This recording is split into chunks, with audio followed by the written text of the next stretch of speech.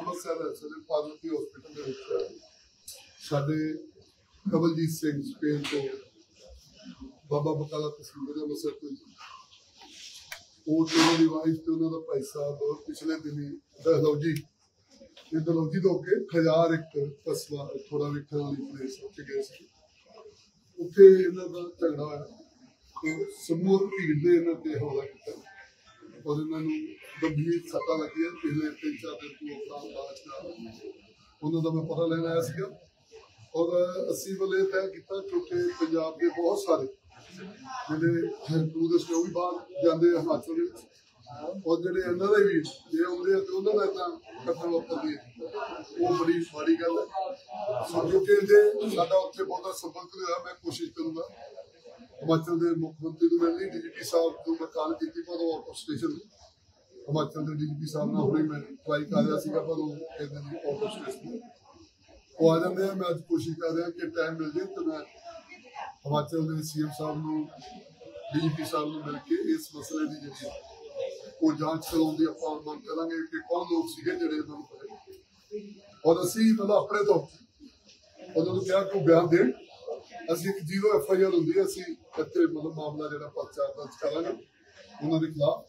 ਉਦੋਂ ਪਰਚਾ ਦਰਜ ਕਰਕੇ ਹੀ ਹਿਮਾਚਲ ਗਵਰਨਮੈਂਟ ਨੂੰ ਭੇਜਾਂਗੇ ਤੇ ਅਸੀਂ ਇਸ ਕੇਸ ਦੀ ਡੀਪਲੀ ਜਾਂਚ ਕਰਾਵਾਂਗੇ ਕਿ ਕਿਉਂ ਇਹ ਘਟਨਾ ਵਾਪਰੀ ਹੈ, ਕਿਹੜੇ ਦੋਸ਼ੀ ਹੈ। ਉਹ ਦੋਸ਼ੀਆਂ ਨੂੰ ਸਜ਼ਾ ਦਿਵਾਉਣ ਤੱਕ ਜਿਹੜੀ ਹੈ, ਅਸੀਂ ਹੱਦ ਸੰਭਵ ਜਿਹੜੀ ਹੈ ਕੋਸ਼ਿਸ਼ ਕਰਾਂਗੇ। ਇਸ ਕਰਕੇ ਮੈਂ ਆਇਆ ਸੀਗਾ। ਕੱਲ ਵੀ ਆਉਂਦਾ ਪ੍ਰੋਗਰਾਮ ਸੀਗਾ, ਪਰ ਕੱਲ ਉਹਨਾਂ ਦੀ ਕੋਈ ਮੀਟਿੰਗ ਸੀਗੀ, ਉਹ ਚੱਲ ਉੱਧਰ ਨਹੀਂ ਸੀਗੀ ਸੋ ਉਹ ਮੈਂ ਉਹਨਾਂ ਨੂੰ ਭਰੋਸਾ ਦਵਾ ਕੇ ਆਇਆ ਪੰਜਾਬ ਸਰਕਾਰ ਵੱਲੋਂ।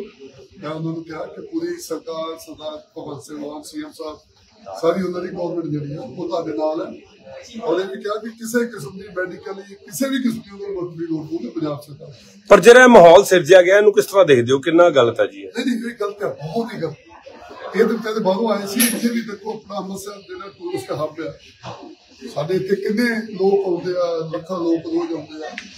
ਤੇ ਜੇ ਇੱਥੇ ਇਦਾਂ ਦੀ ਘਟਨਾ ਹੋਵੇ ਤੇ ਉਹ ਕਿੰਨੀ ਮਾੜੀ ਗੱਲ ਹੈ ਬੰਦੇ ਬਾਹਰ ਕੋਈ ਜਾਂਦੇ ਦੇਖੋ ਤੇ ਸ਼ਿਮਲੇ ਤੋਂ ਸਾਡੇ ਸਭ ਲੋਕ ਦੋਸਤ ਮਿੱਤਰ ਕਈ ਨੇ ਪਰਿਵਾਰਾਂ ਸਮੇਤ ਬੱਚੇ ਸਮੇਤ ਗਏ ਆ ਤੇ ਜੇ ਉੱਥੇ ਇਦਾਂ ਦੀ ਘਟਨਾ ਹੁੰਦੀ ਹੈ ਤੇ ਬਹੁਤ ਮਾੜੀ ਘਟਨਾ ਨਿੰਦਨਯੋਗ ਹੈ ਔਰ ਮੈਂ ਇਹਦੀ ਨਿੰਦਾ ਵੀ ਕਰਦਾ ਔਰ ਮੈਂ ਹਿਮਾਚਲ ਦੇ ਮੁੱਖ ਮੰਤਰੀ ਨੂੰ ਕਹੂੰਗਾ ਕਿ ਆਪਣੀ ਸਟੇਟ ਦੇ ਵਿੱਚ ਲਾ ਐਂਡ ਆਰਡਰ ਜਿਹੜਾ ਖਾਸ ਤੌਰ ਤੇ ਟੂਰਿਸਟਾਂ ਦਾ ਕਿਉਂਕਿ ਹਿਮਾਚਲ ਤੇ ਬੇਸ ਹੀ ਜਿਹੜਾ ਜ਼ਿਆਦਾ ਜਿਹੜਾ ਟੂਰਿਜ਼ਮ ਦੇ ਉੱਤੇ ਉਹ ਇਹਨੂੰ ਮਤਲਬ ਸਮਝ ਕੇ ਜਿਹੜਾ ਉਹ ਕੋਸ਼ਿਸ਼ ਕਰਨ ਕਿ ਹਿਮਾਚਲ ਦੇ ਵਿੱਚ ਇਦਾਂ ਦੀ ਮੁੜ ਕੇ ਕੋਈ ਘਟਨਾ ਨਾ ਹੋਵੇ। ਸਰ ਉਹ ਮੋਬਾਈਲ ਦੇ ਵਿੱਚ ਵੀਡੀਓ ਬਣਾਈ ਗਈ ਸੀ ਇਹਨਾਂ ਵੱਲੋਂ। ਉਹ ਕਰਾਈ ਕਰ ਦਿੱਤੀ। ਪੁਲਿਸ ਵੱਲੋਂ। ਉੱਥੇ ਦੀ ਕਿੱਦਾਂ ਦੇਖਦੇ ਜੀ? ਅਸੀਂ ਐਫ ਆਈ ਆਰ ਦਰਜ ਕਰ ਔਰ ਉਹ ਚੀਜ਼ਾਂ ਹੀ ਬਾਅਦ ਵਿੱਚ ਉਹਦੀ ਜਾਂਚ ਐਫ ਆਈ ਆਰ ਦੇ ਕੀ ਹੁਕਮ ਕੀਤਾ ਗਿਆ ਨਹੀਂ ਐਫ ਆਈ ਆਰ ਤੇ ਹੁਕਮ ਕਰਦੇ ਆ ਕਿ ਜ਼ੀਰੋ ਐਫ ਆਈ ਆਰ ਦੇ ਹੁੰਦੀ ਹੈ ਉਹ ਅਸੀਂ ਦਰਜ ਕਰਾਂਗੇ ਉਹ ਬਿਆਨ ਦੇਣਗੇ ਉਹਨੇ ਉਹਨੇ ਡੇਢ ਦੋ ਘੰਟੇ ਦੇ ਵਿੱਚ ਪਰਚਾ ਦਰਜ ਹੋਊਗਾ। ਉਹਦੇ ਤੋਂ ਬਾਅਦ ਅਸੀਂ ਉਹ ਹਿਮਾਚਲ ਗਵਰਨਮੈਂਟ ਨੂੰ ਭੇਜਾਂਗੇ।